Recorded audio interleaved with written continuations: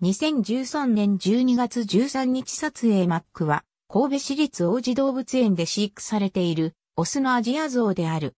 2014年現在、体高3.5メートル体重5トンと、国内最大級のアジアゾウである。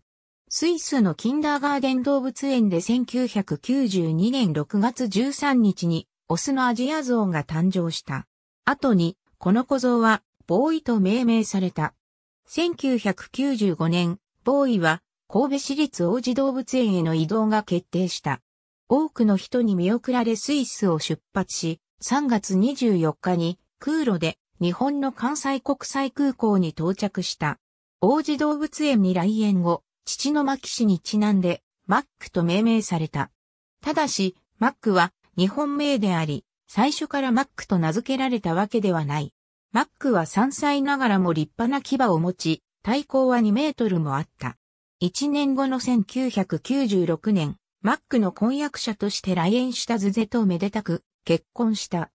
2000年には交尾も確認され、2004年と2007年に2頭の子を設けるが、いずれも骨折が原因で死亡した。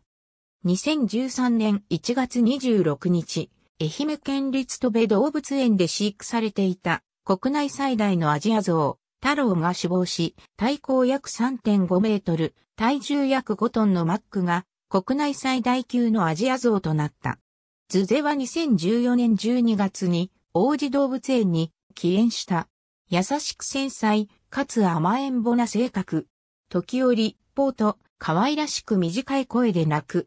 ズゼが1年2ヶ月、出産のために不在だった間、そのショックから食欲が落ち、食事量が減少したこともあった。反面、飼育員が現在も幼名、ボーイと呼ぶなど、やんちゃな面も残されている。ありがとうございます。